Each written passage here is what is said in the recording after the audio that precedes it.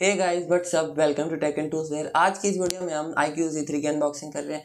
तो without wasting any more time let get started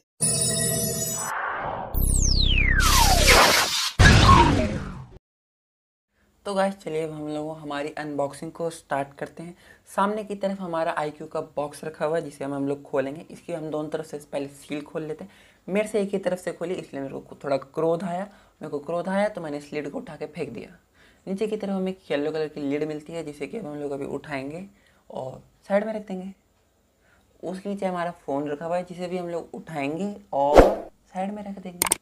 और क्या ही करना चाहिए अब इस कवर को हम उठाएँगे, उसे साइड में रख देंगे। नीचे की तरफ़ हमें एक चार्जिंग ब्रिक मिलती है, जो कि है एक 66 वॉट की वीवो का फ्लैश चार्जर है ये।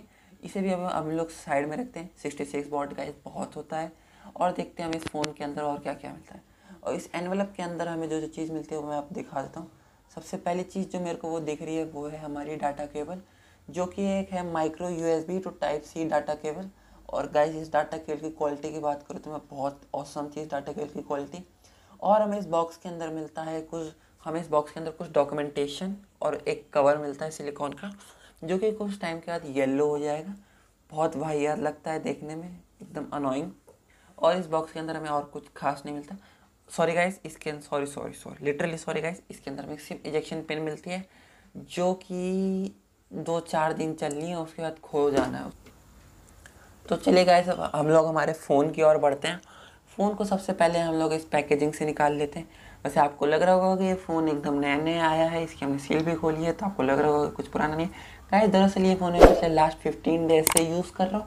ये मैंने सोचा कि आपको अनबॉक्सिंग दिखाना बहुत ज़रूरी है, इसलिए मैंने इसकी अनबॉक्सिंग रिकॉर्ड करी।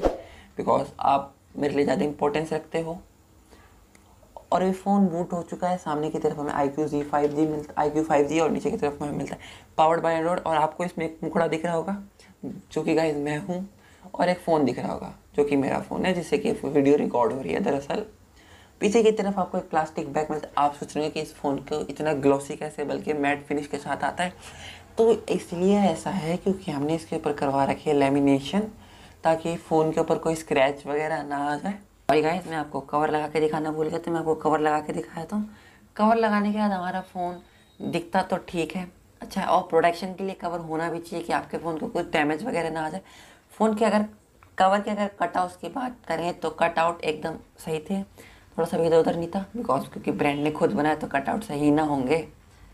और अगर बात करो, जैसे किसी किसी कवर में होता है कि आप साइड से स्वाइप कर रहे हो तो कवर से उंगली फिंगर टच होती है और स्वाइप में दिक्कत आती है। तो इसमें ऐसा कोई प्रॉब्लम नहीं आने वाली सच एज यूज़ कोई प्रॉब्लम आएगी, बस टाइम के साथ येलो पड़ जाएगा। तो चलिएगा इस फ़ोन की कुछ स्पेसिफिकेशन के है बात करते हैं। तो सामने की तरफ़ आपको मिलती है एक आई पी जो कि एक 120 ट्वेंटी हर्ट्स रिफ्रेश रेट के साथ आती है। सामने की तरफ़ एक आपको सेल्फी कैमरा मिलता है 16 मेगापिक्सल का, जिसमें कि आप 1080 पे 30 एफ़ पे रिकॉर्ड कर सकते हो एच में और फ़ोन की ब्राइटनेस कितनी है, ये मेरे को पता नहीं है, लेकिन मैं आपको मेंशन कर दूँगा इधर ऊपर तो आप देख लेना कि इसकी ब्राइटनेस कितनी है। और अगर हम इसके बैक साइड की बात करें तो इसमें आपको पीछे प्लास्टिक बैक मिलता है, नीचे की तरफ़ आपको एक आईक्यू की ब्रांडिंग की ब्रांडिंग मिलती है। चलिए हम इसके कैमरा के बारे में बात करते हैं। तो पीछे की तरफ़ आपको ट्रिपल रेयर कैमरा सेटअप मिलता है, जिसमें कि मेन कैमरा 64 मेगापिक्सल का अल्ट्रा वाइड कैमरा 8 मेगापिक्सल का और 2 मेगापिक्सल का एक मैक्रो कैमरा पीछे की तरफ़ आप फोर के 4K 30 FPS 60 FPS पे रिकॉर्ड कर सकते हैं 1080 पे 30 60 जायरो है और EIS का सपोर्ट है। अगर हम बात करें पोर्ट्स एंड बटन की तो नीचे की तरफ़ आपको एक U S B type three point five M M jack और स्पीकर ग्रिल मिलता है। ऊपर की तरफ़ आपको माइक और सेकेंडरी माइक मिलता है और सॉरी सेकेंडरी माइक मिलता है, नीचे की तरफ़ आपको एक माइक मिलता है और एक सिम ट्रे मिलते हैं, ऊपर की तरफ़। तो सिम ट्रे को निकाल के हम लोग देखते हैं कि हाइब्रिड सिम स्लॉट वाली ट्रे है या फिर एक डेडिकेटेड एसडी कार्ड तो ये एक हाइब्रिड सिम स्लॉट ट्रे है और इसके अंदर आपको एक गैस क्रिट की प्रोटेक्शन मिल जाती है कि जिससे आपका फ़ोन का ये पानी में गिर गया तो पानी जल्दी ना घुसे फ़ोन में। वैसे भी इस फ़ोन पे आईपी रेटिंग तो हमें मिलती नहीं है तो कुछ तो प्रोडक्शन होगी हमारी पानी से। साइड में आपको फिंगरप्रिंट सेंसर और वॉल्यूम अप डाउन बटन मिलता है। लेफ़्ट साइड में आपको कुछ नहीं मिलता, एकदम ब्लैंक है।